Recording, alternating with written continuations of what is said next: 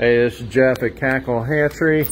Let's see what's happening in this little sportsman incubator. Let's see what we have going on here. Got some lavender Orpingtons, some uh, Ayam Cemani, uh, French black coppers. We have some gold lace Cochin Bantams. And uh, we have exhibition silver lace Wyandottes.